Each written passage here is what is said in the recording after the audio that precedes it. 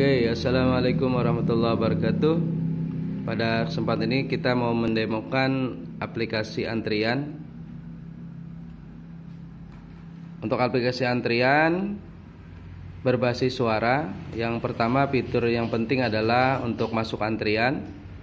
Nah, ini nanti akan ditanam atau diinstal di PC masuk antrian, sehingga nanti para pengantri bisa melakukan uh, order nomor antrian dengan cara tekan antrian. Nah, nanti otomatis akan dicetak uh, karcis antrian. Kemudian yang berikutnya fitur yang kedua adalah kita install atau kita taruh di PC kasir atau loket. Nah, di sini ada panggil antrian. Sini kita contohkan memanggil nomor 61.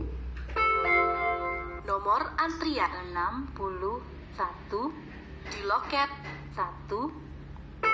Oke, kalau kita panggil nomor 62. Nomor antrian 62 di loket 1. Oke, kalau misalnya 62 mau diulang kita klik ulang. Nomor antrian 62 di loket 1. Oke.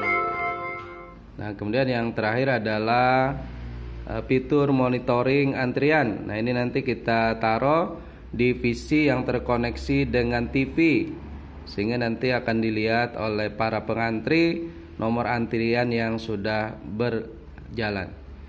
Oke, demikian. Assalamualaikum warahmatullahi wabarakatuh.